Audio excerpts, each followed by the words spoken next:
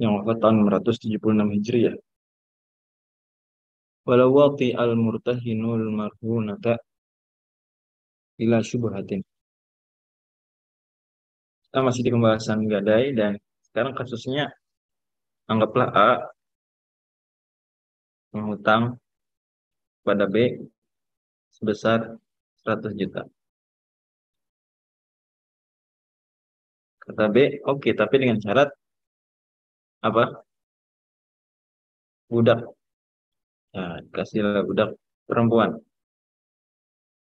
Gitu ya. Ya, itulah bro. Ya, mungkin-mungkin aja. Nah, ternyata sama B, budaknya diwatak.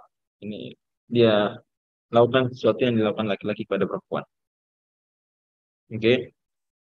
Bila syubhah tanpa ada ambiguitas di situ. Jadi bukan karena dia sangka itu istrinya atau dia sangka itu budak perempuan milik dia sendiri, bukan. Yang enggak ada hal-hal yang membuat dia salah paham, nggak ada, nggak ada kesalahpahaman. Fazanin maka B ini dianggap sebagai pezina. Oke, sebab ini budak punya siapa? Budak perempuan. Nah. Punya Ustaz. Iya, punya. Berarti punya orang. Bukan budak sendiri. Yang Allah anggap halal itu, atau Allah halalkan adalah budak milik sendiri. Walladzina hum li furujihim hafizun. Gimana surat Al-Mu'minun dan surat Al-Ma'arij illa ala azwajihim aw ma malakat aiman. Aw ma malakat aiman. Nah, kalau aw ma malakat aimanuhum berarti harus dimiliki. Kalau punya orang tak boleh. Ya. Dan ini haram, zina.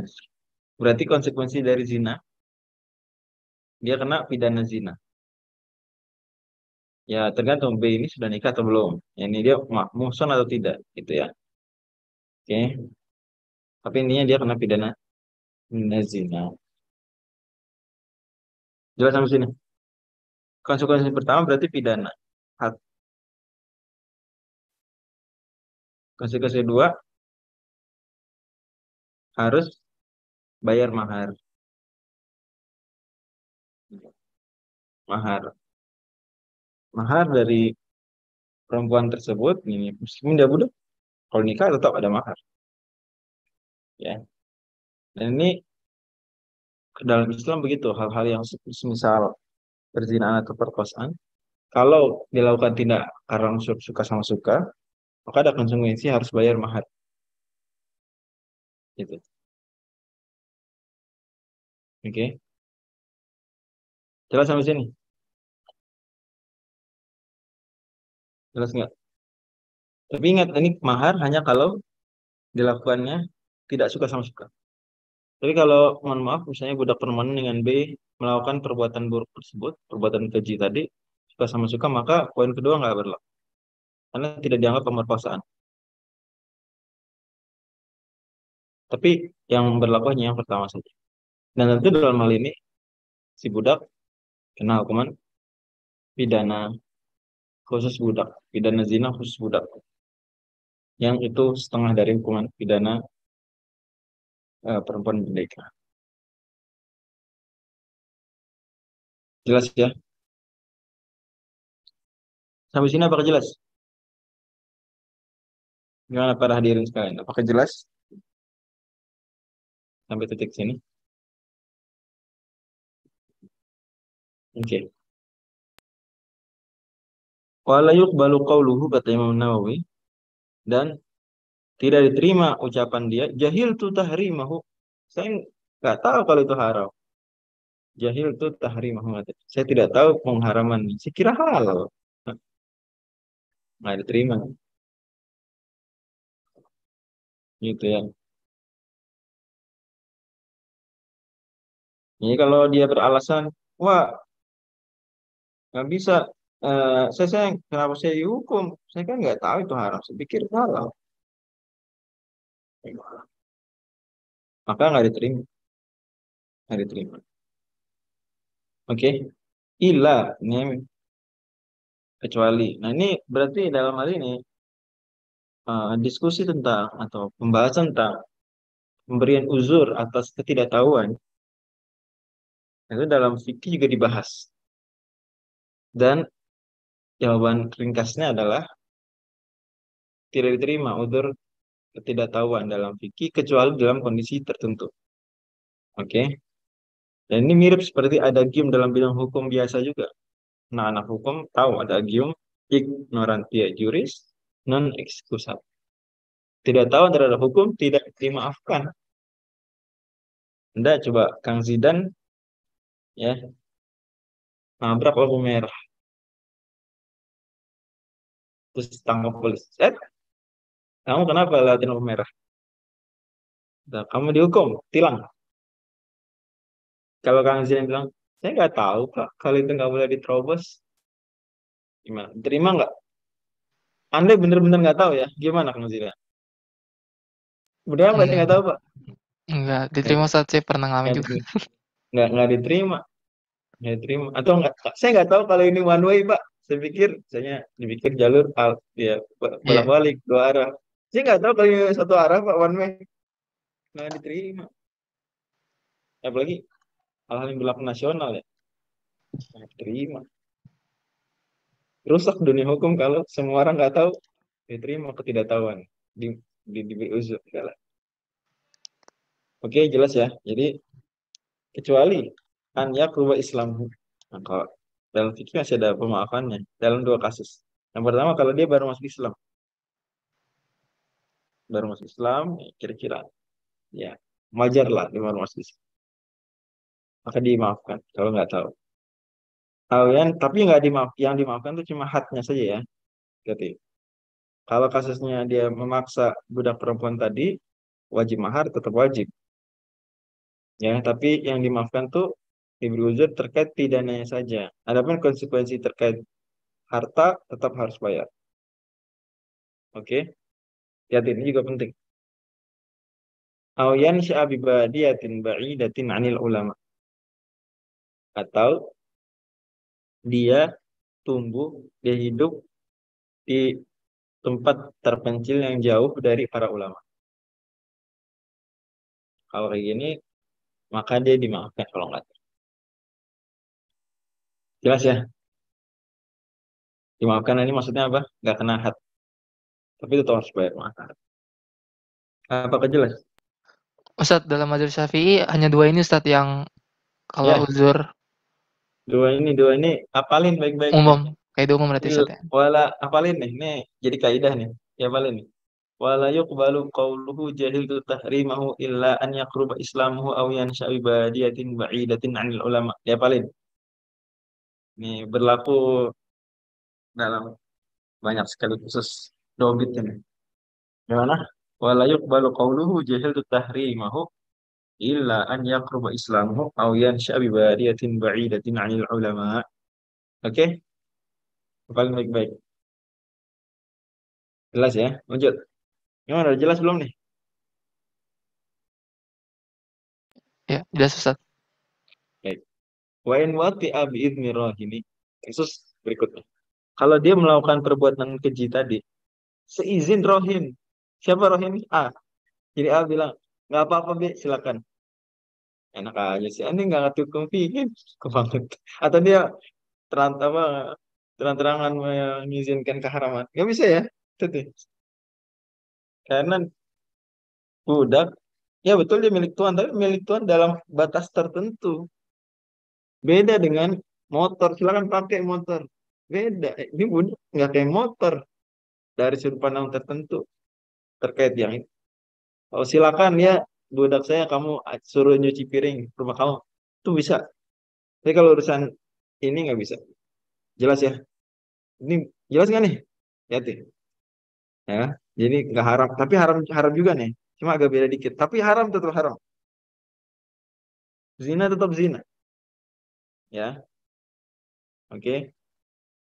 Jadi jangan salah paham. Jadi kira budak perempuan dalam Islam tuh ya diperlakukan seperti itu. Enggak.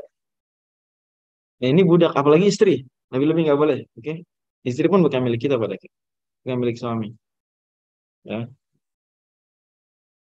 Qubila da'wahu jahlat tahrimi fil asahi. Pembedanya di mana? Di sini. Orang yang kayak gini diizinkan sama A. Maka kalau dia bilang, saya nggak tahu kalau itu haram. Ah, menurut pendapat yang lebih benar dari pendapat ulama Syafi'iyah, diterima. Klaim dia nggak tahu. Diterima. Klaim dia nggak tahu. Tapi benar-benar nggak tahu dia. Nggak tahu. Dia, terima. Jadi ini seperti uzur tambahan Kang Zida. Boleh kita anggap uzur tambahan. Tapi yang tidak berlaku dalam semua kasus ya. Ini berlaku dalam kasus-kasus tertentu. Misal kasus ini. Itu yang ketiga adalah kalau diizinkan si rohinnya. Diizinkan A. Nah, itu pun ada debat internal mantap syafi'i. Makanya kata Imam Nawawi fil asah. Fala hadda dan karena itu tidak ada pidana. Ingat yang dikuburkan hanya pidana. Adapun mahar wajib. Wajibul mahru in akrohaha. Kalau tidak suka sama suka, dipaksa, wajib bayar mahar. Kalau dipaksa. Kalau nggak dipaksa, ini budak perempuan yang mau melakukannya perbuatan keji tadi dilakukan suka sama suka, ya maka tidak ada poin kedua. Oke. Sampai sini apakah jelas? Ya, para hadirin, apakah jelas?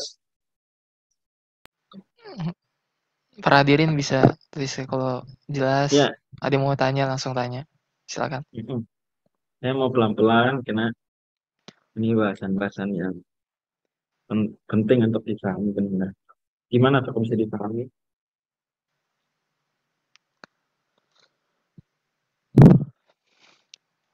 Oke. Sekarang pembahasan berikutnya tentang anaknya. Gimana anak? Kalau hasil hubungan tersebut ada anak. Wal waladu hurrun nasibun. Wa alaihi qimatuhu lirrahimi. Dan anaknya merdeka. Nasibun dinasabkan ke A. Merdeka dinasabkan ke Kenapa? Karena uh, emang dia merdeka. Karena merdeka bukan budak.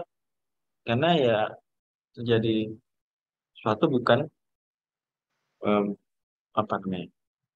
Ya oleh orang lain terjadi orang-orang lain maka dia merdeka. Kalau baladu turun nasib. Wa alaihi qimatuhu lirrah. Sama kok saya nasib malah bilang ke anaknya. Ah, enggak anaknya anaknya B ya nasib. Tapi dia wajib bayar kimahnya. Harga dari budak tadi. Anak ini aturan normalnya budak kalau ya atau menjadi uh, budak dari milik A. Tapi ketika B yang melakukan orang lain, dia jadi merdeka dia. Nah, karena merdeka berarti kan merugikan A sebetulnya. Ya elah, ini kan aturan anak bisa jadi budak saya malah jadi merdeka. Maka wajib mengganti harga dari budak tersebut. Misalnya harga budaknya 50 nah, juta. Ya, berarti bayar 50 juta. Ya. Jelas ya? Oke. Walau atlafal marhuna wa badalahu sarahnan. Kalau seandainya barang gadai dirusak oleh B. Anggap ini sebenarnya juga watiah ini bagian dari usahakan juga dalam tanda kutip ya. Ini sebuah perilaku yang tidak seharusnya dilakukan. Tapi ya kita nggak bahasakan itu. Sekarang anggap jangan budak tapi kita anggap uh, misalnya mobil ya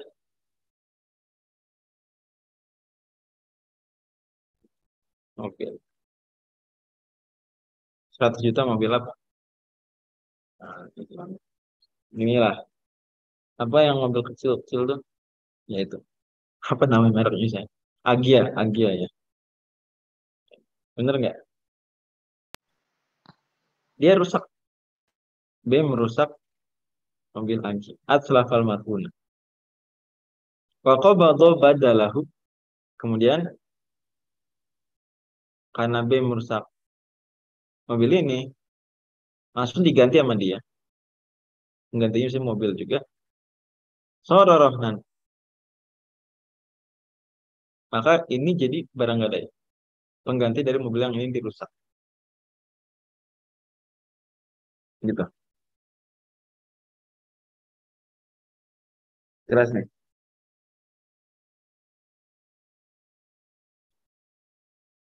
Apa nih ada punya? Wal khosmu fil badali rohin. Dan kalau ada yang protes, nggak setuju ini jadi pengganti, yang berhak adalah rohin. Ada kasus tertentu yang merusak itu adalah orang lain. Jadi nggak harus B. Bisa juga orang lain. Atau bisa juga A. Ya. Kalau yang rusak, B yang ganti.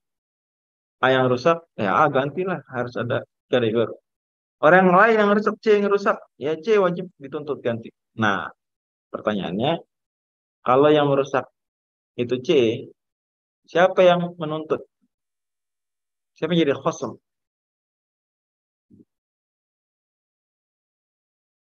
Oke. Okay. Jelas ya?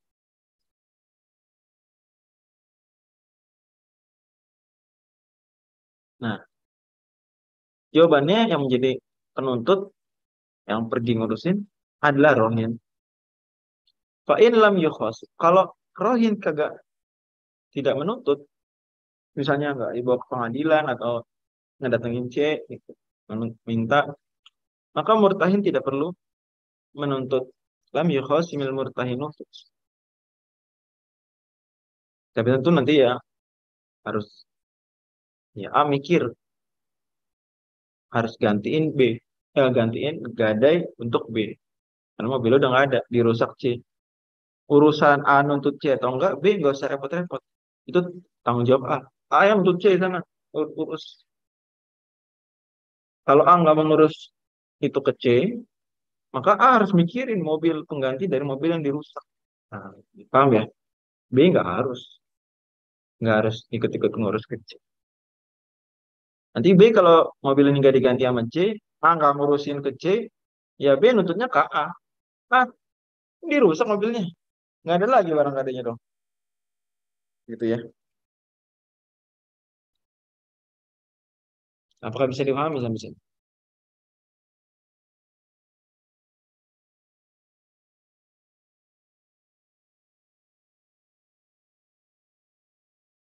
Hmm, gimana? Bisa, Ustaz. Oke. Lanjut. Kalau wajib kisoson, angkas berikutnya, andai ada keharusan kisos. Misalnya apa keharusan kisos? Misalnya perusakannya adalah pembunuhan. Kita hapus dulu. Misalnya dan mobil. Budak ya. Budak laki-laki. Budak lah. Biasa.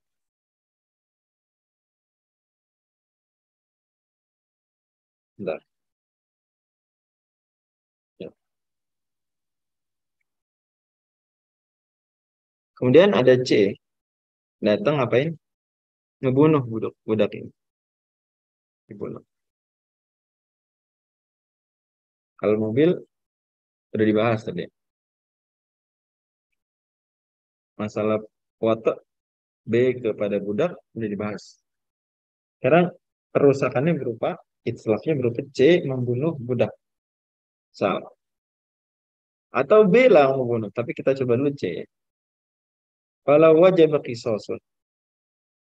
Kalau seandainya wajib ada kisos akibat pembunuhan, siapa yang menuntut rohin maka A yang nuntut pergi ke C untuk ke pengadilan tentu ya C dibawa ayo dilaporin C pengadilan kemudian Diputuskan bahwa apa? Kisos. Rohani menuntut. Kemudian wafatar rohani. Rohani hilang. Udah. Rohani nggak ada. Berarti nanti A harus cari rohan berikutnya. Iya nggak? Jadi nggak bisa C kamu ganti budak nggak gitu lah. Kan ini pembunuhan. Kalau pembunuhannya, kalau A kisos, C, C dibunuh, CGR oleh pengadilan. Ya udah, rohannya gimana? Ya hilang. Terus B kan masih ngutangin A 100 juta. Ya A harus cari barang gadai lain, cari marhun lain. Gitu ya. Itu kalau memiliki sos. Jelas sampai sini. Kalau A untuk C untuk dikisos, ya udah C dikisos, udah. Terus gimana? Ya, cari lagi barang gadainya sih, A nyari barang gadai.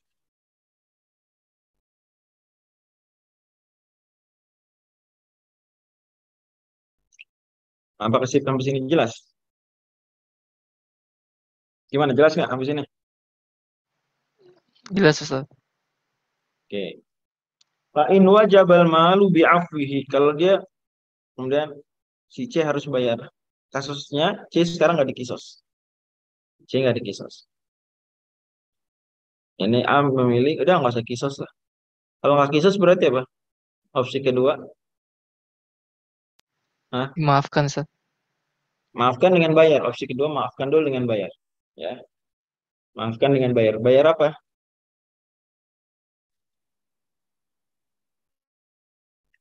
Bayar apa namanya? Hah? Diat. Bayar diat. Bayar apa? Istilahnya diat. Ya.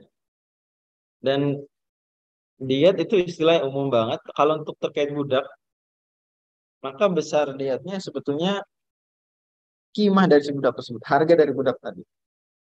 Nah, budak ini harganya kan kira-kira berapa? 100 juta ya. Walaupun bisa aja fluktuatif, tapi anggaplah saat pembunuhan diperkirakan harga budak 100 juta. Gitu. Ya maka C bayar 100 juta. Fa'in wajah itu itulah kata Imam Nawawi, fa'in wajah bal malu biakfihi. Hmm. Kalau seandainya harus bayar harta setelah dimaafkan, bayar diat asli artinya, ya, maka ya berarti uang 100 jutanya ini buat ngelunasin utang ke B. Kan barang ada hilang. Uang 100 jutanya hasil dari dia bayar diat buat siapa nih? Ingat kalau diat budak tuh bukan 100 ekor unta, tapi harga budaknya. Beda dengan kalau pembunuhan manusia yang merdeka. Kalau pembunuhan budak itu pakai harganya karena budak dalam hal ini sangat mirip dengan benda biasa dalam hal ini. Kias syabahnya dengan benda biasa. Kita kalau merusak mobil ya harga mobil bukan 100 ekor unta. Gitu. Ya 100 jutanya buat apa dong yang dikasih C dalam bentuk dia ya bisa buat bayar utang B atau C dengan 100 juta tadi cari budak pengganti. Bisa juga. Oke. Jelas sampai sini ya. Hmm.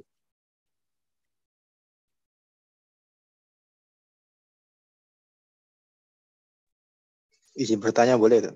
Ya. Oke, silakan.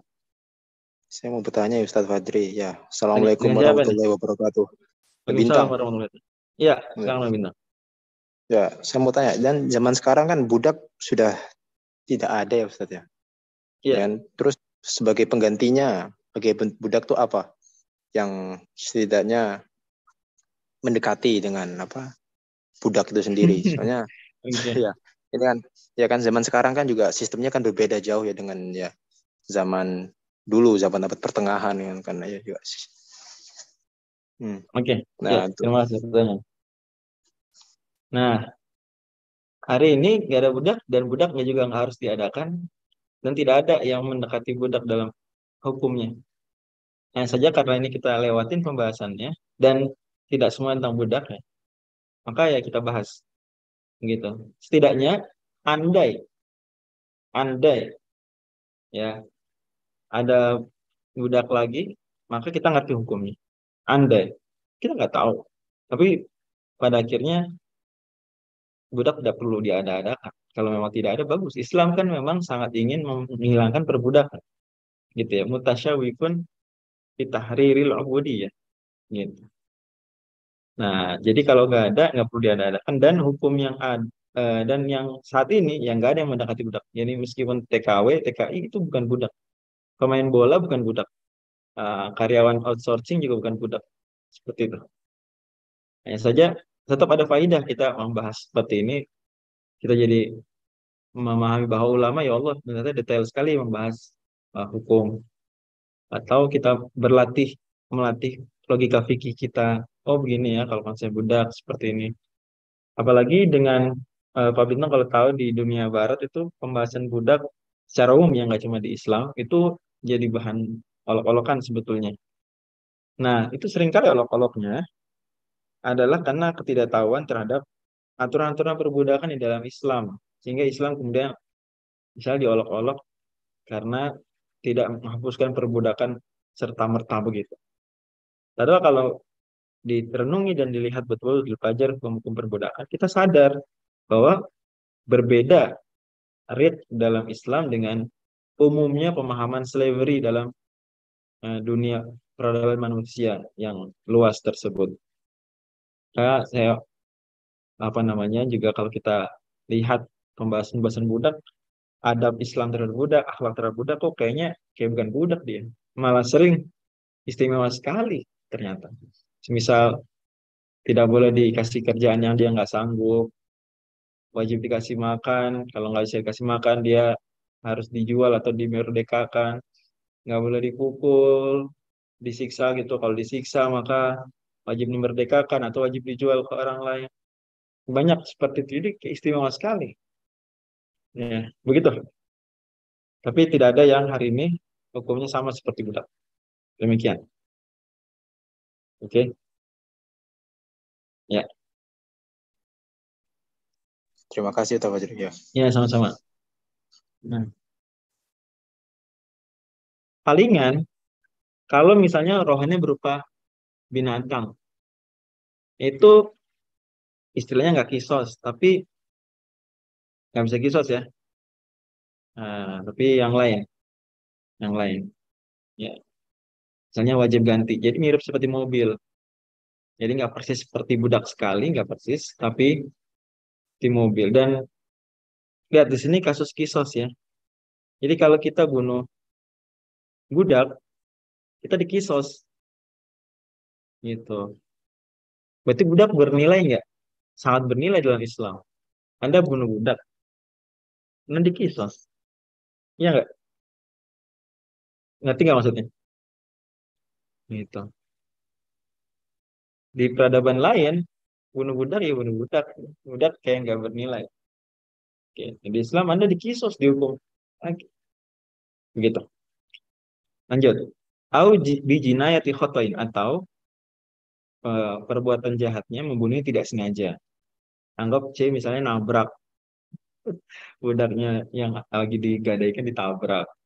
Atau lagi operasi ya ada keteledoran tidak disengaja meninggal. Atau sejenisnya. Itu kan namanya pembunuhan tidak sengaja. Ya. Pembunuhan tidak sengaja pembunuhan tidak sengaja ada kisosnya nggak ah gimana pembunuhan tidak sengaja ada kisosnya nggak di matan takrib gimana ingat-ingat Enggak. Iya. Kalau pembunuhan tidak sengaja tidak ada kisosnya. Langsung diat. Pembunuhan tidak sengaja langsung diat. Ya, maksud tidak sengaja dikisos. Enggak. Sebagaimana di surat 4 ayat 9. Nah, kata uh, Imam Nawawi Imam Nawawi lam yasiha afuhu anhu wala ibra'ul murtahinil jani Adapun dimaafkan gratis tanpa diat, ya, nggak maaf gratis. Nggak boleh. Padahal sebenarnya dalam kasus-kasus pembunuhan itu ada kalau ada kisos misalnya maka konsekuensi kedua adalah ada diat ini maafkan tapi dengan diat. Yang ketiga maaf gratis. Oke? Okay? maaf gratis. Kisos diat afu. Maaf gratis. Diat mengandung maaf karena dia nggak dikisos nggak dihukum mati kan? Itu udah pemaafan tapi ganti duit ya. Ada lagi di bawahnya lebih dahsyat sebetulnya pahalanya gede buat si keluarga korban yaitu memaafkan. Tapi ini tidak harus ya dia maafkan maaf gratis. Nggak usah kisos dan nggak usah diet. Gitu. Nah dalam kasus-kasus normal ini boleh. Malah bagus. Ya sangat mulia sekali memaafkan gratis. Tapi dalam kasus gadai nggak boleh. Kenapa nggak boleh? Ini nggak boleh. Maaf. Karena itu terkait dengan hak siapa? Hak murtahin Sat. hak murtahin si B ya aja nggak ada nggak ada gantinya nih. Gitu. Jelas ya? Begitu juga B nggak boleh memaafkan C. Gitu. Nggak ada urusan karena itu urusan urusan A. Oke, pada akhirnya Islam ingin hak A dan hak B itu terjaga. B butuh ada kepastian barang jaminan. Maka A nggak bisa semena-mena. Oke, apakah sampai sini dipahami?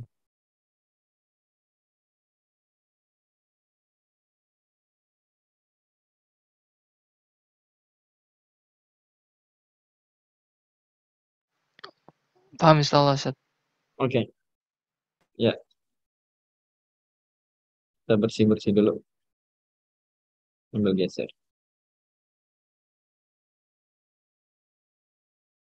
Oke. Lanjut. Wala yasri rohnu kata Imam An-Nawawi ila ziyadatin munfasilah. Sekarang sebenarnya kasusnya berbeda yaitu gadainya itu menghasilkan sesuatu. Misalnya A dan B. Utang tadi apa? Nah, 100 juta misalnya. Gadainya nah, apa ya?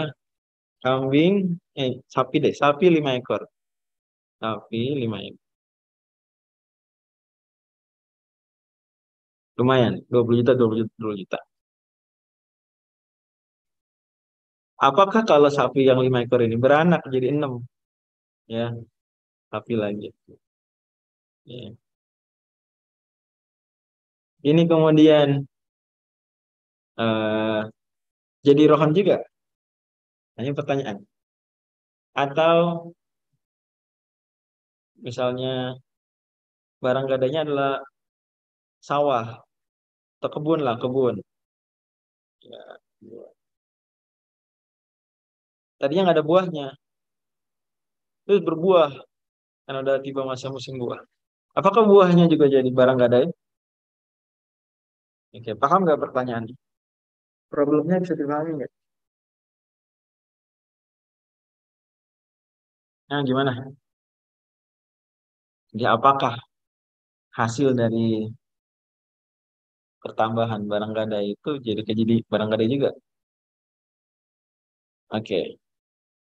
Kata Imam Nawawi, wala yasirrohnu ila ziyadati munfasilah. Nah, ziyadah berarti ada dua kasus. Ada ziyadah tambahan yang terpisah munfasilah. Ada yang nyambung muttasilah. Ya enggak? Oke. Okay. Yang muttasilah misalnya kalau yang munfasilah gampang. Anak, hewan, buah, ya, atau budak beranak.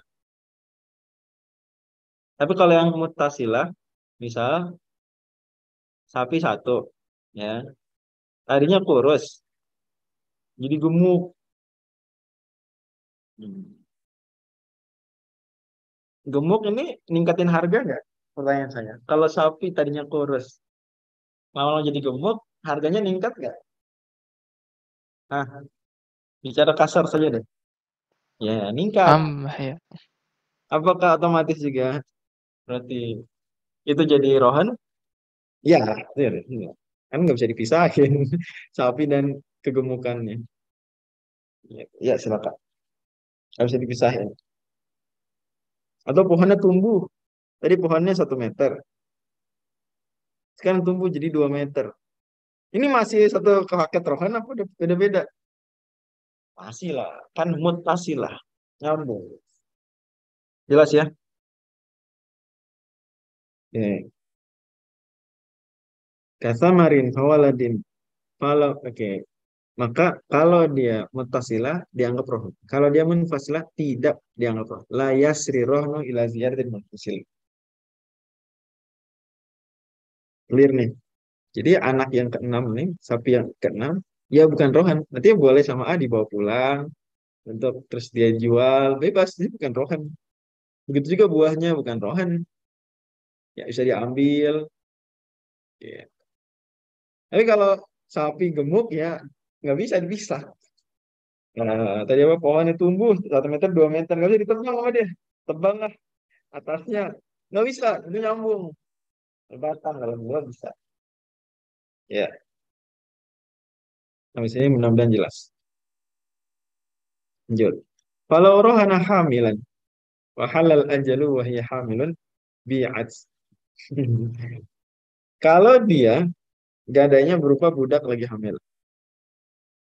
Budak aja.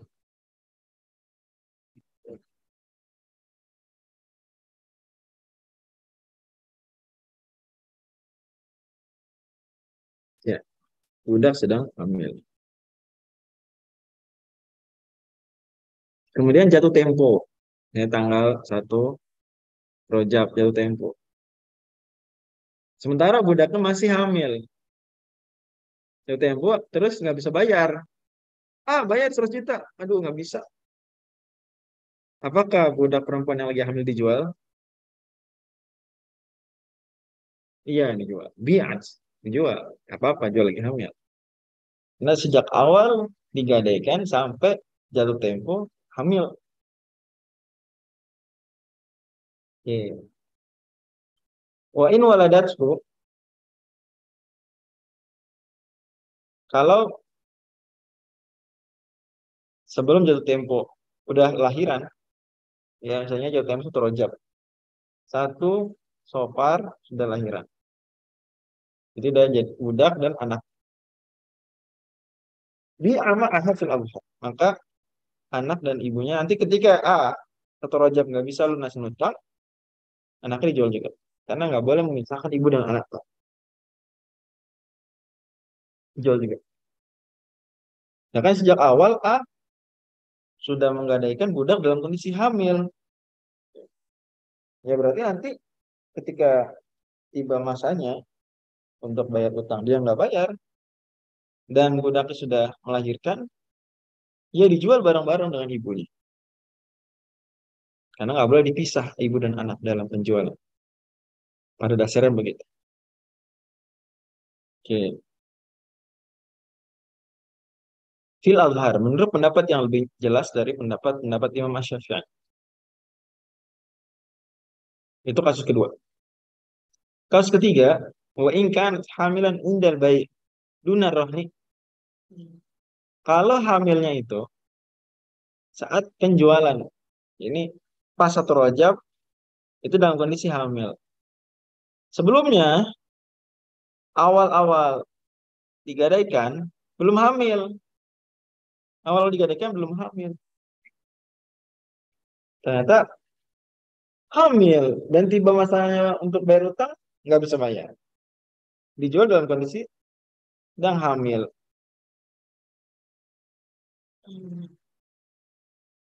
maka dalam kondisi seperti ini nanti seandainya anak sudah lahir dan dia awalnya belum hamil, oke, okay. belum hamil tentu pada akhirnya belum ketahuan maksudnya gitu, karena kan kita udah bahas dulu sekali bahwa A nggak boleh menghamili budak perempuan yang sedang digadaikan.